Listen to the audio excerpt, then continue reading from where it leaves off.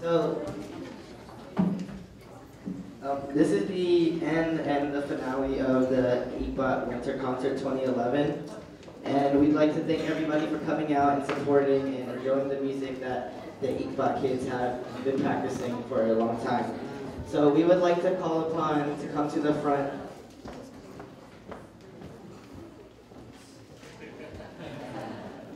We would like to welcome our ambassador, Pat Dino Patijala, and he's actually going to give a wonderful speech. So, Uh, Thank you very much, thank you. Well, first, uh, because half of our audience here are, uh, English-speaking audience, I would like to ask permission to speak in English. And I want to invite everybody to give a big warm applause to all.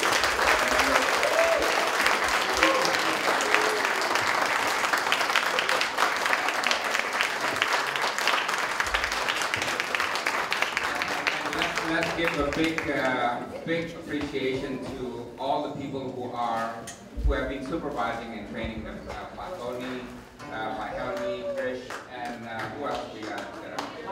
Pak Firman, uh, Livia, John, and everybody. Let's give them a big hand.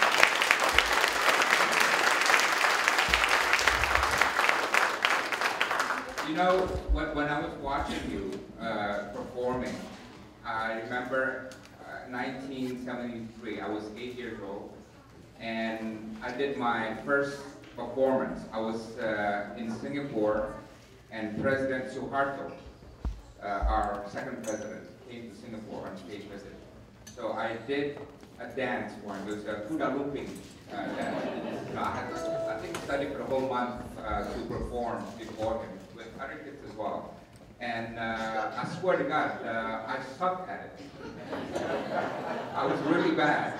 And I remember President Suharto looking at me and wondering, who's this kid doing and, uh, this, this very strange dance.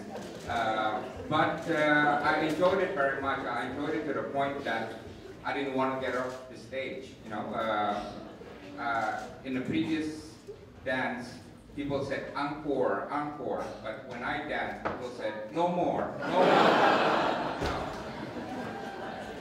But, but you know, what you're doing is very, very important. I, I'll tell you why. Uh, I remember reading an interview with Prime Minister Lee Kuan Yew of Singapore one day, and he said that he was a bit concerned about the kids today.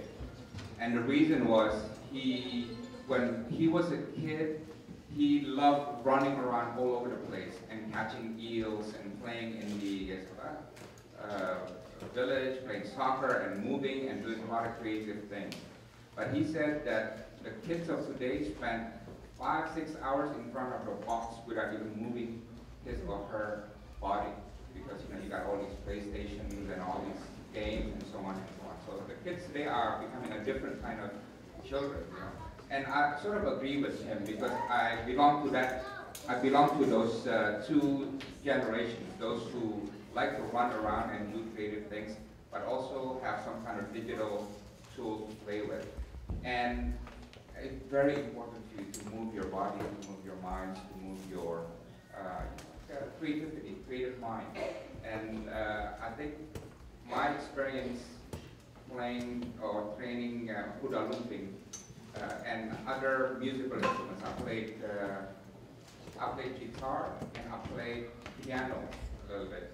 That trained me to be uh, a better person somehow. And I know it's a bit much to say, but I really believe that because when I was training for music, uh, a lot of things come to myself. One is curiosity. You know, I really want to learn about guitar, about piano, and other things, right? And secondly, I learned about the experimentation.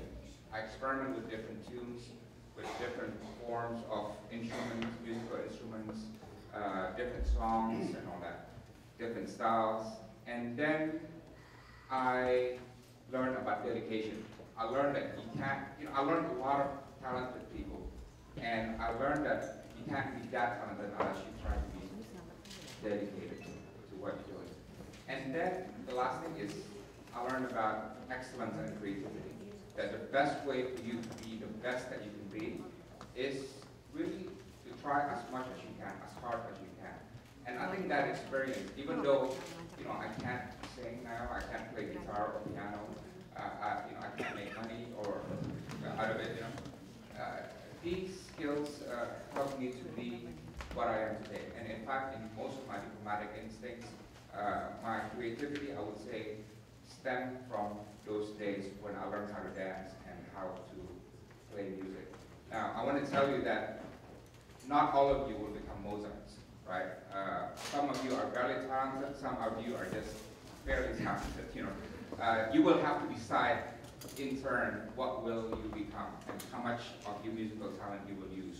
You all have different kinds of talent. But what I can promise you is this, because this is what happened to me. What I can promise you is what you've done today, practicing every week, every, you know, two, three hours a week, making friends and uh, trying to train together, performing. I promise you, no matter what you do with your music, you're gonna, you're gonna remember these moments, these moments for the rest of your life. Just the way I remember that five-minute dance that I did before President Suharto. So I just want to say, I know you're performing for all of us, but tonight is really about you. You know, tonight is all the parents, all the diplomats, all the, uh, uh, all our guests here, just saying to you, we honor you, we, we are inspired by you, we respect you, we love you, and we want to thank you for all your dedication and all your love, and we wish you all the best in your future. Thank you very much.